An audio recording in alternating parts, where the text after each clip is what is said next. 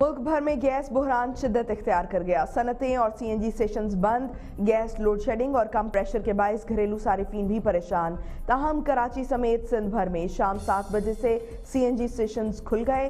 ادھر وفاقی وزیر برائے توانائی عمر ایوب نے جنوری کے وسط تک سندھ میں گیس سپلائی کی بہتری کا دعویٰ کر دیا۔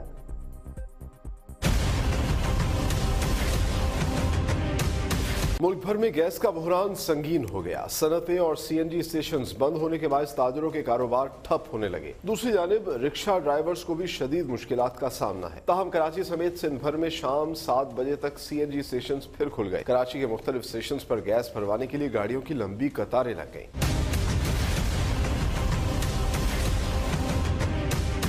ایس ایس جی سی حکام کا کہنا ہے کہ ایس ایس جی سی کے سسٹم میں معمولی سی بہتری آنا شروع ہو گئی ہے۔ کم گیس پریشر کا سامنا تاحال موجود۔ تاہم، صارفین کی مشکلات کو سامنے رکھتے ہوئے گیس بحالی کا فیصلہ کیا گیا ہے۔ دوسری جانب، صنعتیں اور سی این جی اسٹیشنز بند ہونے کے باوجود گھریلو صارفین کی مشکل آسان نہ ہو سکی۔ گیس لوڈ شیڈنگ اور کم پریشر کے باعث کھانا پکانا دشوار ہو گیا۔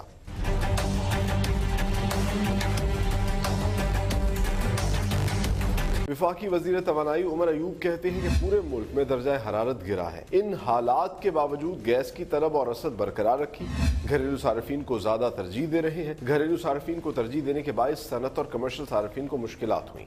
صورتحال بہتر ہو جائے گی۔ ہمیں گیس کے مزید ذخائر دریافت کرنے ہوں گے۔ جنوری کے وسط تک سندھ میں بھی گیس سپلائی